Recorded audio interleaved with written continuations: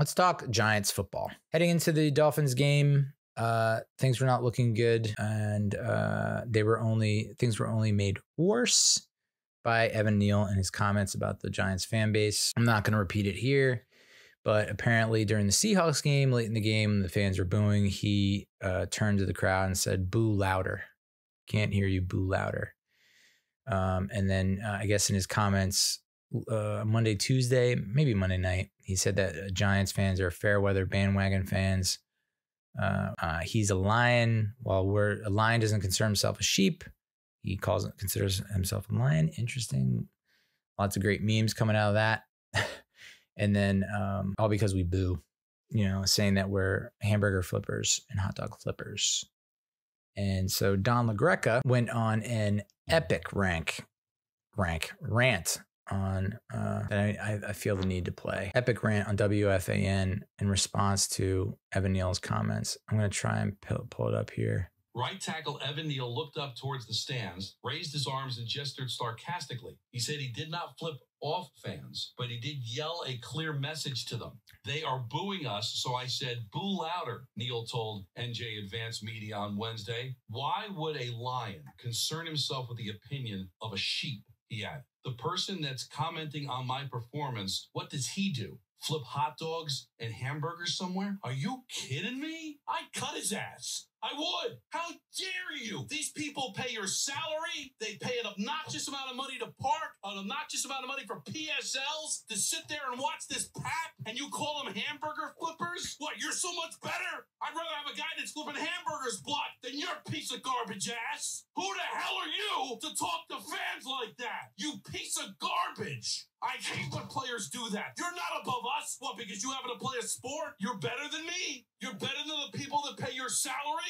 These Giant fans were here before you, and they'll be here after your sorry ass is cut. What a piece of human trash. And I don't want to hear some apology. I don't want to hear, oh, I was taken out of context. I didn't mean, I don't want to hear, done, done. I would cut his fat ass. You see him in the mall of Willowbrook, boo his ass. If you see him on the DMV, boo him. Don't stop booing him. If he goes to the Pro Bowl, boo him. If he wins a Super Bowl, boo his sorry ass. Screw that guy. We're not nobody. Flipping, but how are you taught Do you condescend to people that pay to watch you play? Poorly, I might add. All time. One of the best ever. Uh, and you know, I you know, emotionally, I, I agree with a lot of what he said.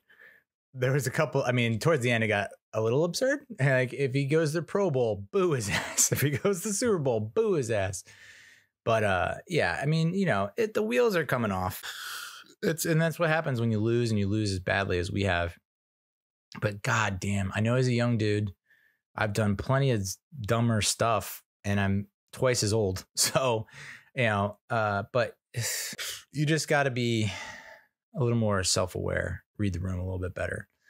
I, I decided to take a look because you know I I I I mean just last night I had a friend text me like like take it easy you're not on the team you got to put it in perspective and I'm like but that's not I'm a fan like I am a fanatic. That's what fan is short for fanatic. We're zealots. We're we're we live and die and you know blood sweat and tears on this friggin' team even though it, it does not matter at all. And goddamn how I wish I could quit you New York Giants but I haven't, the reason I haven't gone to a ton of games anymore is because like I just straight up can't afford a lot of the games. Like even the cheap seats are still a hundo. And that doesn't include parking, concessions. Uh, and if you go like that's just solo. Like if, if I want to take my daughter, it's like two hundo uh, plus all the other stuff that comes with it. So I took a look at ticket prices. I, I tweeted this out. Imagine paying this absurd amount of money while earning what is the median or the average for New Jersey or New York, which I assume is in the 60K to 85K annual salary range. To watch your favorite team get steamrolled every week, then have your top 10 draft pick mock you. You know, a, a coach's club PSL is $20,000, season tickets $7,000.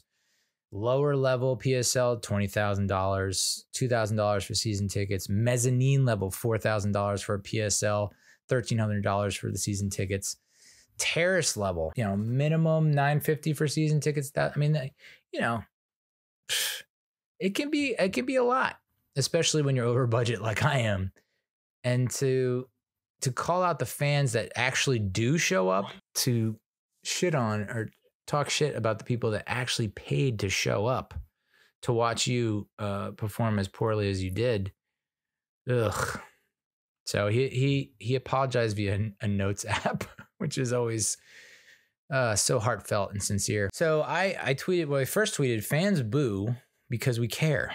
We're emotionally invested and we were told that you specifically and the team would improve and take a big step forward, big leap, leap forward every day for seven months straight. So from February through August. It was Evan Neal has progressed. Evan Neal looks better. Evan Evan Neal is going to take a leap in step year two. He's going to be just like Andrew Thomas. Andrew Thomas struggled his rookie year. In year two, all you know, blah blah blah. So that's all we were fed, spoon fed for seven months straight. And not only you, but the team had improved. And uh, I just showed you the stupid amount of money that people have to pay just to see you play in person. That doesn't count how much people are paying for jerseys, clothing, merch, uh, all kinds of bullshit that's related to the Giants.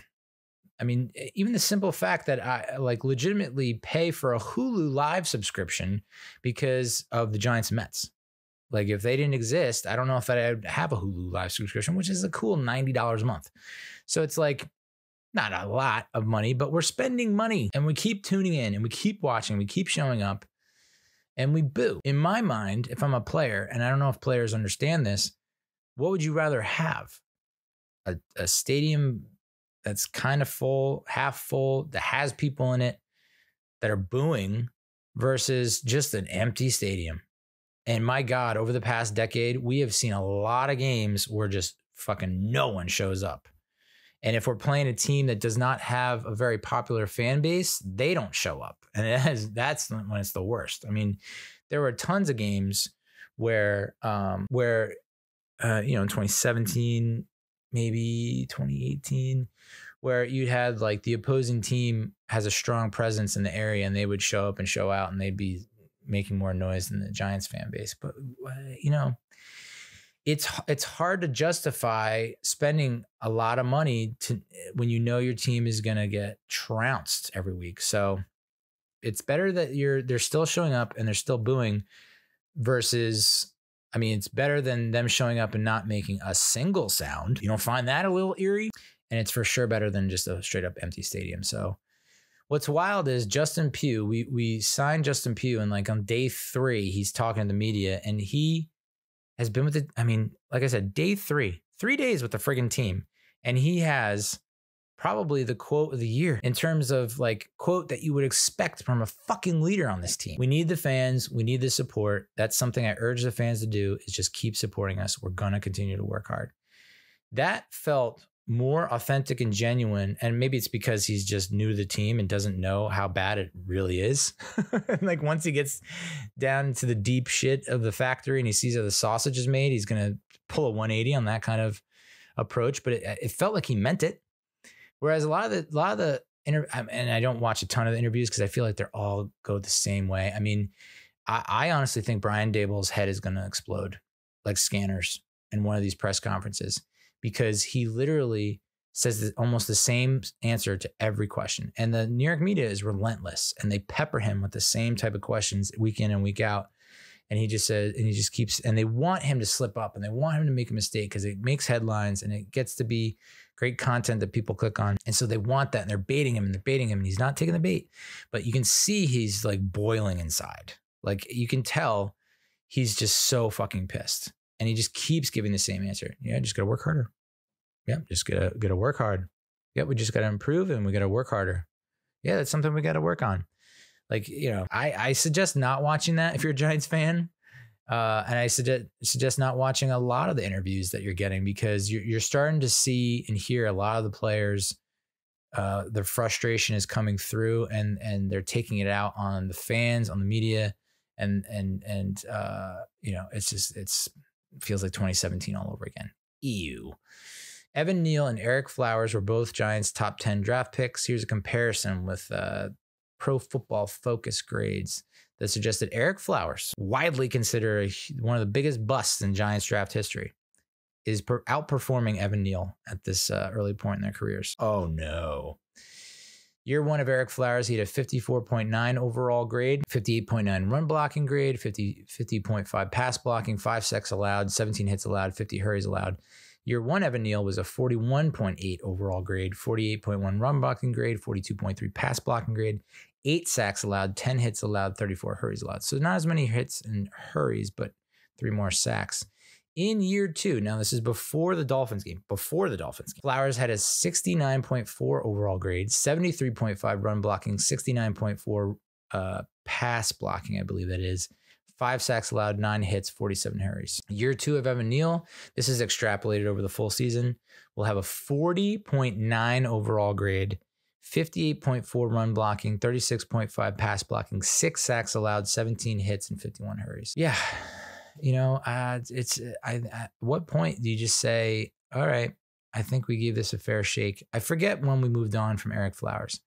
Because Flowers was what? 20, what year was he the pick? My God, I already forgot. Was he 2015 or 2014?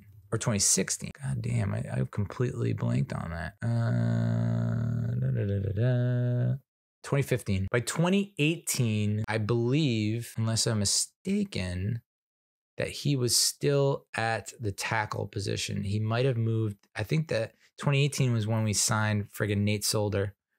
Oh my God. To a monster contract. So he played left tackle and uh, Ereck Flowers moved to right tackle. and that didn't work out any better. So then we let him walk. And then he ends up with the Washington uh, Commanders. Moves to guard and he's like, I mean, he's no longer in the league. He wasn't in the league last year, but uh, I guess he did fairly well on uh, on Washington's team as a guard. So it's not looking great for Evan Neal. And all you have to do is your job, A. Like it, you don't even have to win at this point. just like, just do your job. Be better than you have, which is not asking a lot.